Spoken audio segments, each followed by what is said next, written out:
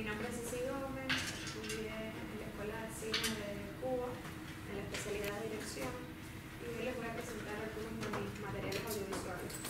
Antes de empezar quisiera contextualizarles un poquitico de lo que es el cine independiente en Cuba. Es un hecho que en los últimos años se está hablando mucho del cine alternativo, del cine independiente eh, de la isla, ¿no?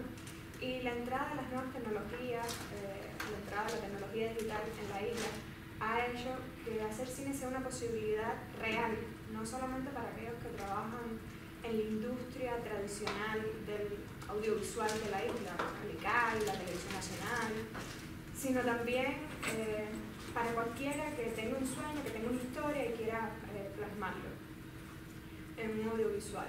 Es interesante también ver como, como a pesar de que en Cuba es difícil tener una cámara, una cámara digital, porque en las tiendas no, no se ofertan, ni tampoco equipos de luces, computadoras, eh, o sea, el equipamiento necesario para trabajar en la industria del cine. Sí, sí hay muchas importaciones de, de esto y hay mucha gente que está teniendo acceso a estas nuevas tecnologías. Entonces han surgido en los últimos años eh, grupos creativos de jóvenes eh, realizadores que, que, tienen nombres como, por ejemplo, Al Pecho, El Central, Último Intento Producciones, Bajo Costo. Son jóvenes realizadores que con pocos recursos han hecho estas pequeñas productoras independientes y están haciendo eh, trabajos muy interesantes en cuanto a estética, a historia. Y de este proceso es que surgen también mis materiales audiovisuales, ¿no?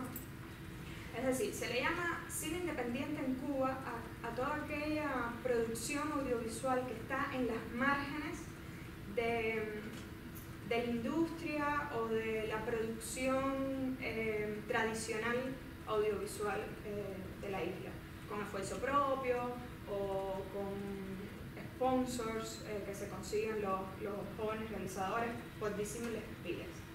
Entonces, eh, estos trabajos míos son el resultado de, de, este proceso también. Hoy les voy, a, les voy a traer el primer cortometraje que les voy a mostrar, se llama Sombra de Luz, lo hice en el 2012, fue mi primer audiovisual. Lo hice muy de manera intuitiva completamente, porque ni siquiera había entrado a la escuela. Yo tenía una cámara que me la había mandado mi hermano de España y, estaba obsesionada por contar mi historia. Eh, cuando chiquita yo escribí un cuento que se llamaba Mi ventana mágica. Yo viví muchos años en, en Centro Habana. Entonces a través de mi ventana yo veía una cosa diferente a cada minuto. Entonces yo decía que era mágica porque no era una ventana, sino muchas ventanas. Y un día recogiendo me encuentro eh, este cuento y, y vuelvo a asomarme a la ventana y me doy cuenta que, eh, que, todavía, que todavía seguía siendo mágica. Empecé a filmar y durante un año filmé. Y luego me metí en un programa que, que me habían dado que se llama Sony Vega, eh, un programa de edición básico y, empecé a trastearlo y ahí mismo yo lo edité, yo, yo hice la fotografía, yo misma eh, actué. Eh, o sea, fue todo muy eh, por instinto, no tenía otro equipo que esa camarita, que ni siquiera tenía lente intercambiable.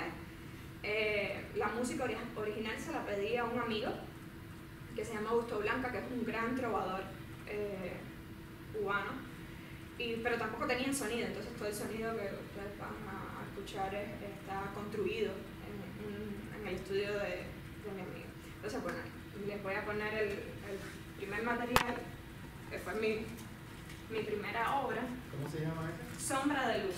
Se, se puso, ya cuando entré a la escuela, lo presenté en varios festivales y participó en varios festivales nacionales.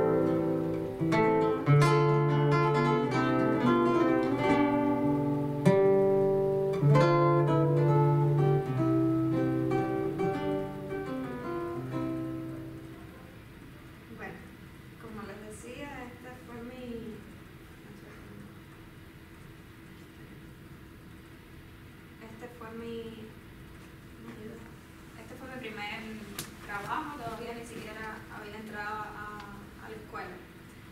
Firmé básicamente eh, durante un año lo que pasaba a través de, de mi ventana, como yo le decía, mi ventana, mi ventana mágica. Eh, ahora les voy a poner, les voy a compartir, mm, este fue el primero, ahora les voy a poner uno de los últimos. Eh, les voy a poner mi cortometraje de tesis, ya en este momento obtuvimos otros apoyos, aunque no un financiamiento estatal, tuvimos apoyo de la UNICEF, porque es un cortometraje sobre la violencia simbólica infantil y, ha sido seleccionado para participar, para representar la campaña contra la violencia simbólica de género eh, contra el, UNICEF. Y, y, aquí entonces vamos a ver cómo tenemos más recursos, eh, se nota también otro lenguaje, otra manera de trabajar con la puesta en escena y esto es después de cinco años de haber estudiado la carrera.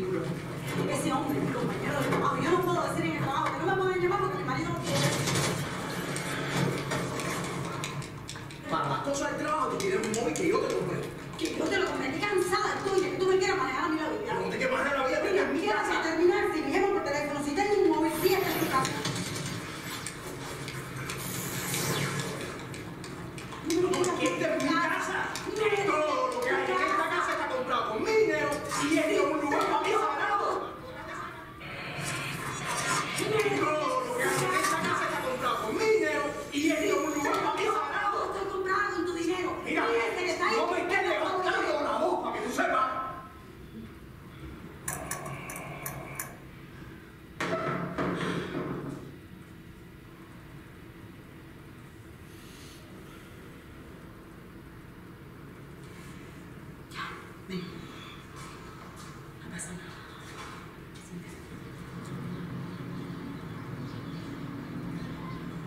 ¿Quieres agua? ¿Estás aburrido? ¿Quieres jugar un ratico? Sigue jugando.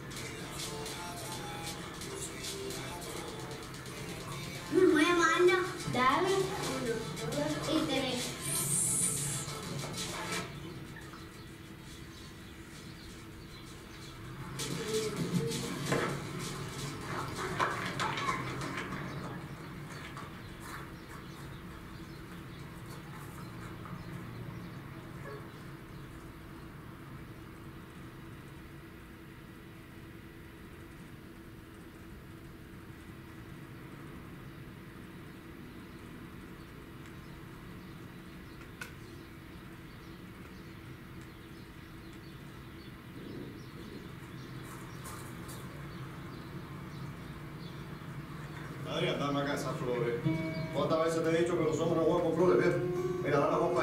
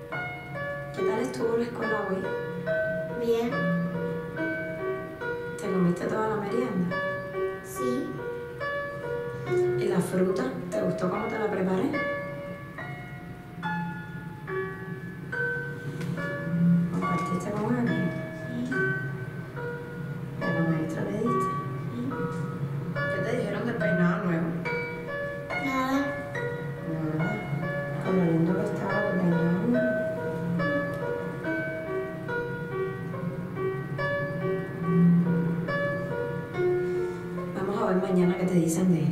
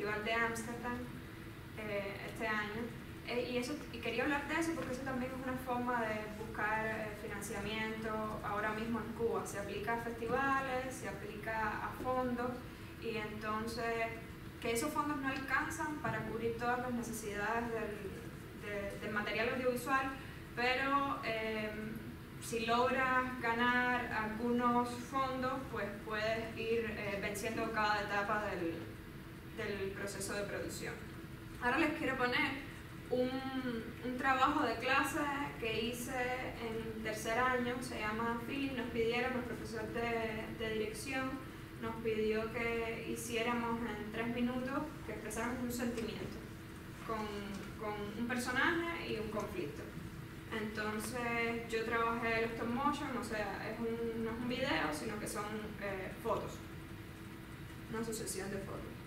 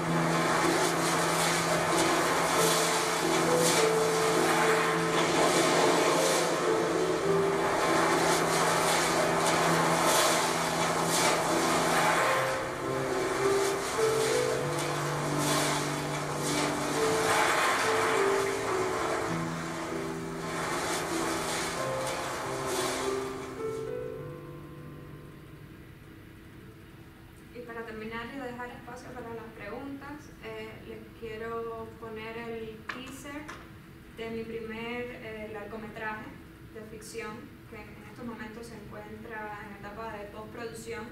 Este fue apoyado por el ICAL, por la Asociación Hermanos Saiz y también ganó el Fondo de Noruega y tuvimos también otros apoyos como por ejemplo de Cubarrón, de algunos restaurantes, eh, de otras instituciones, de, de otros lugares privados y algunas instituciones estatales.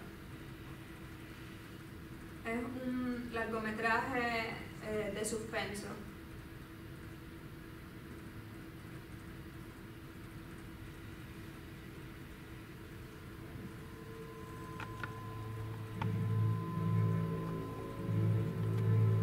Aquí todo el mundo sabe por qué la 7 es la.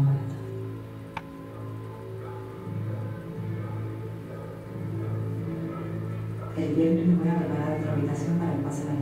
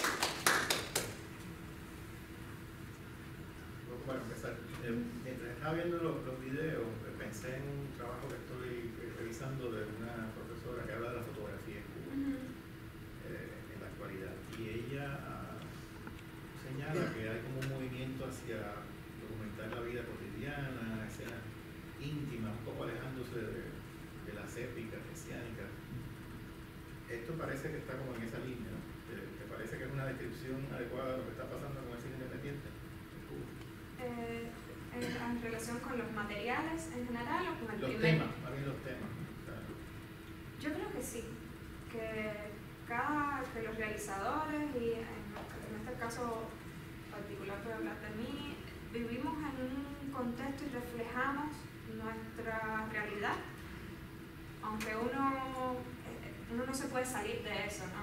Eh, de, de- de reflejar la vida cotidiana, pero también eh, hay muchos realizadores que están trabajando otros temas que se salen un poco de, la cotidianidad, de los problemas, eh, de la realidad diaria y están trabajando temas más universales, están trabajando el cine de género, el suspenso, eh, la animación eh, y temas que no son solamente eh, los que usualmente vemos eh, del cine cubano.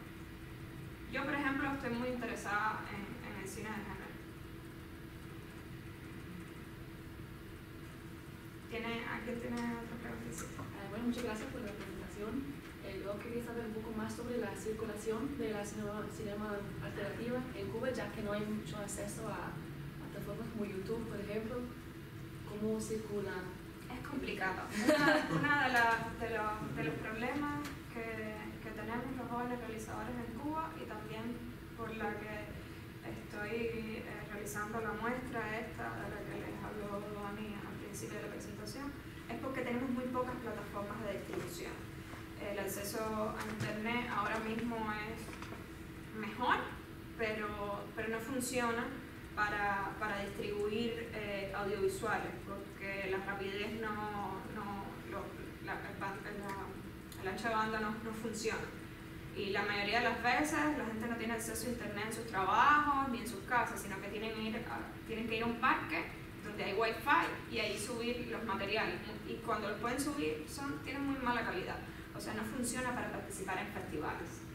Entonces depende de que tengan algún productor en el extranjero, de que sea una coproducción y entonces la parte de distribución esté a cargo de otro país o de, de una institución extranjera.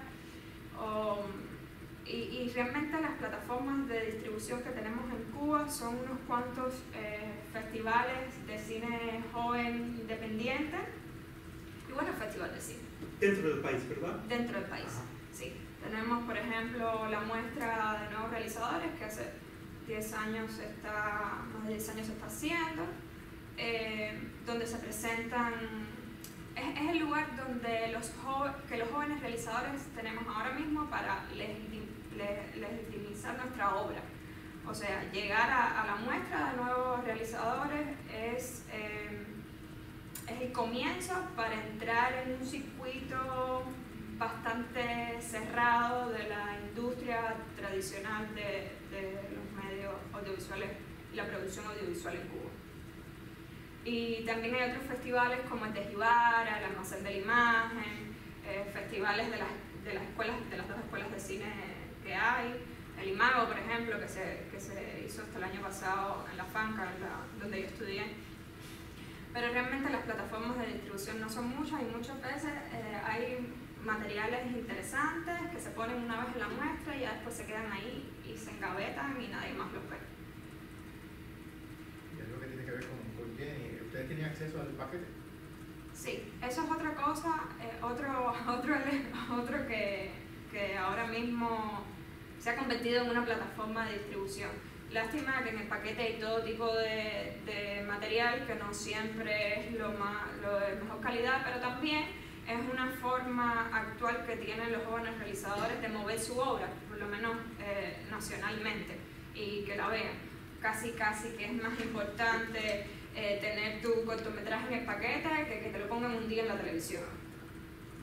Porque al paquete, o sea, porque el acceso que tiene eh, la gente que, que llega al paquete es mucho mayor que la que ve la televisión, ya casi nadie ve la televisión más que lo que sale por el paquete. Incluso los programas de la televisión muchas veces salen en el paquete porque la gente los, ve, los puede ver cuando quiera. Por ejemplo, Tras la huella está en el paquete. Lo ponen por la televisión, pero la gente muchas veces prefiere verlo cuando ellos quieren, en su tiempo, en, en el paquete.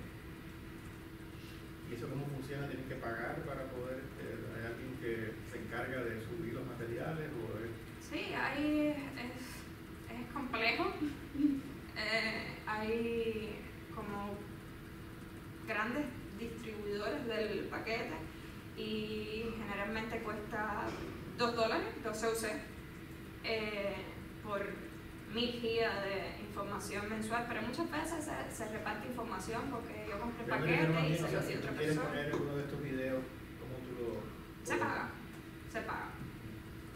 Vas a uno de los lugares que, que- y se paga. Y además es algo que se ha discutido muchísimo, incluso crearon una cosa que se llama la mochila, que es como la versión estatal Sí, del paquete, porque del paquete se ha hablado muchísimo, no, no es como algo oculto, todo el mundo sabe que existe eh, el paquete. Entonces la mochila, pero nadie le interesaba la mochila, todo el mundo seguía.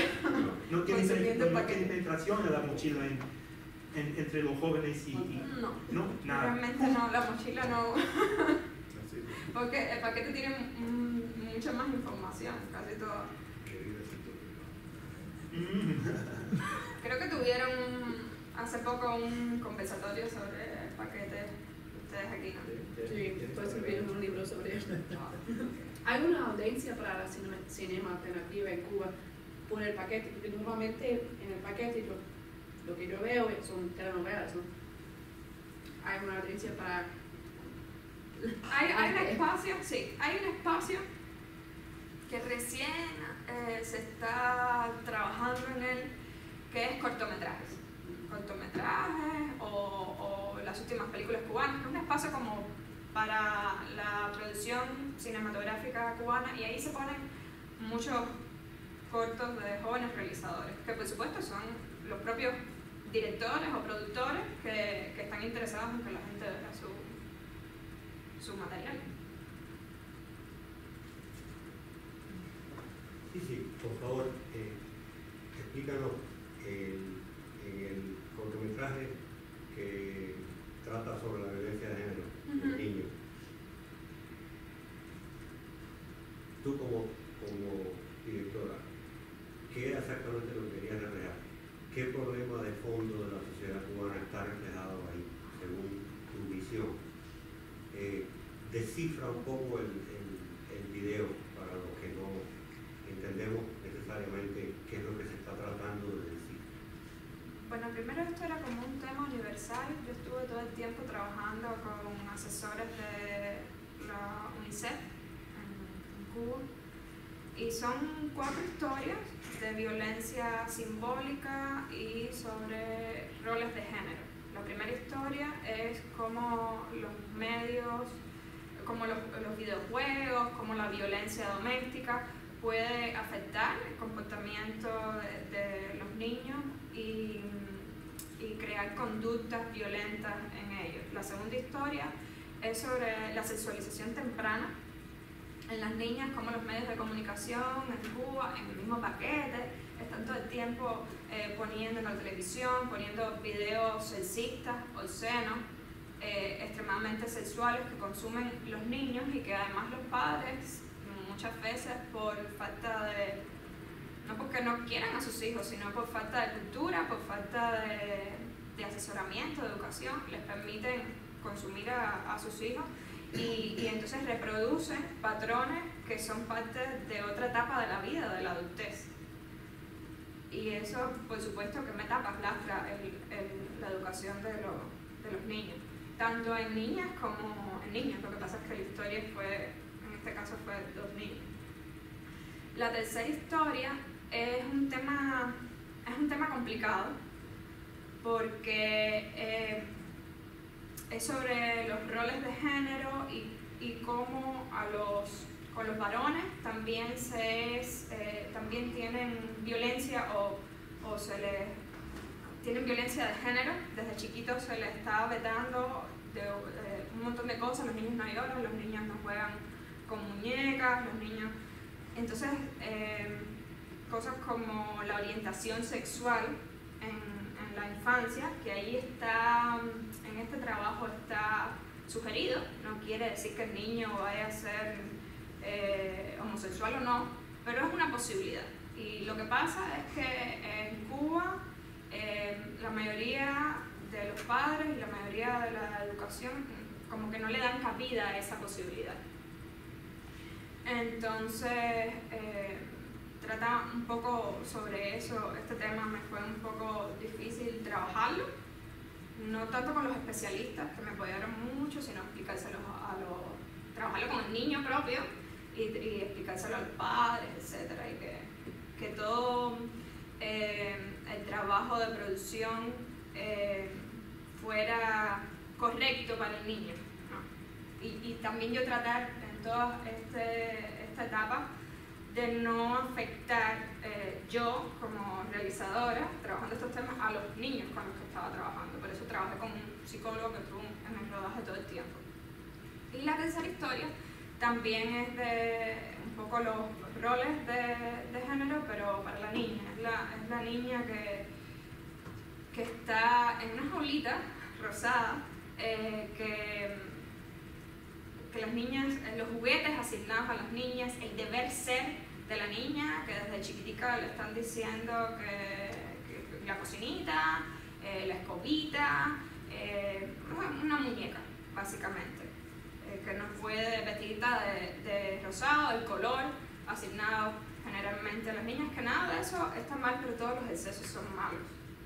Y, y, y, los- y la violencia de género y, la, y estos roles se ven desde la educación, desde aquí está bien plasmado desde los juguetes, con lo que deben jugar los niños, que al final el juego es la preparación para, para la vida, ¿no?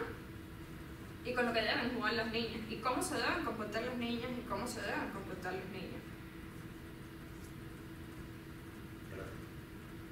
En el título de la muestra, eh, me parece que usaste dos palabras, cine independiente y cine alternativo. Ujú. ¿Cuál es la diferencia? Bueno, el cine independiente, como les decía, es un cine que está en las márgenes, eh, o sea, que la producción está como en las márgenes de las instituciones que, producen cine en la isla, el ICA y la Televisión Nacional. Ahora, eh, el cine alternativo se le llama muchas veces también a esto, pero también es un poco eh, que tiene que ver con las facturas también, con la calidad, con, con, con historias que son un poco más atrevidas, quizás en cuanto a forma, en cuanto a puesta en escena. Eh, tiene que ver mucho con, con tema, con factura, con estética, eh, con esfuerzo propio, privado.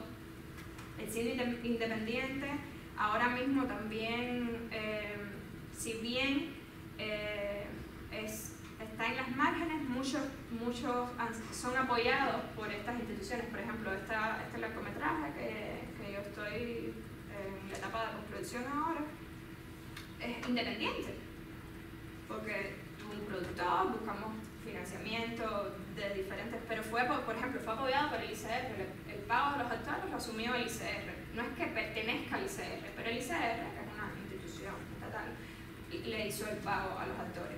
Y el ICAI pagó la parte de, la postproducción, o una parte de la postproducción. Entonces, no es un, un largometraje institucional de la industria cinematográfica, del ICAI, no pertenece al ICAI, pero sí está apoyado por esta institución y sigue siendo independiente.